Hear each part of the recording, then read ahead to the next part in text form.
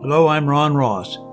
Join me in a prayer for America that was first prayed on April 30th, 1789. The event was the inauguration of George Washington, and this prayer followed his inauguration.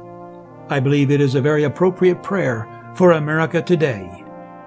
Let us pray.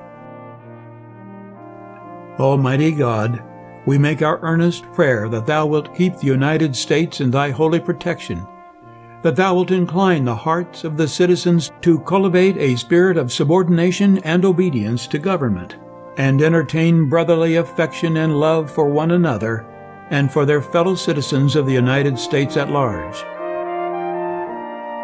And finally, that Thou wilt most graciously be pleased to dispose us all to do justice, to love mercy, and to demean ourselves with that charity, humility, and pacific temper of mind which were the characteristics of the divine author of our blessed religion, and without a humble imitation of whose example in these things we can ever hope to be a happy nation. Grant our supplication, we beseech thee, through Jesus Christ our Lord. Amen.